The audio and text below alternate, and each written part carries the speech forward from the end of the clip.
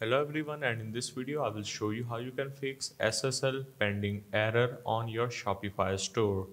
Now first of all many people are facing this error and the reason behind this is very common so you need to make sure to watch the video till the end because there are few steps that you're gonna need to take in order to resolve this particular issue.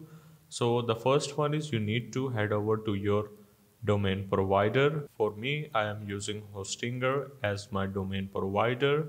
And let's say you are using Namecheap, GoDaddy, or any other domain provider, or even if you are using your own Shopify domain, the process will be similar.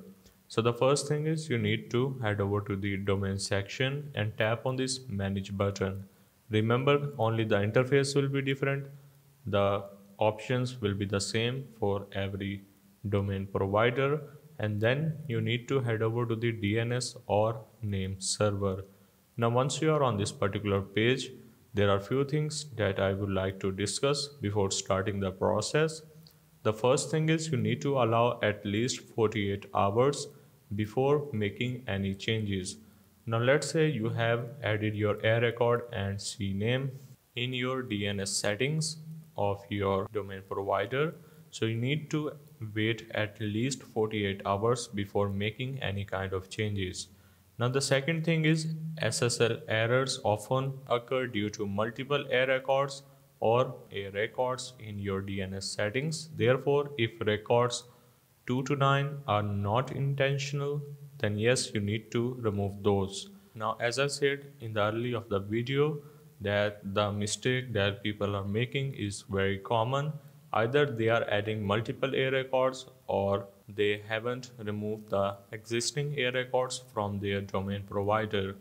Now the first thing is you need to scroll down in your manage DNS records and the first thing that you need to look for is the A record and CNAME. Make sure you need to see these numbers which is IP address and your CNAME pointing to shops.shopify.com if you have gone through the process, you know what I'm talking about.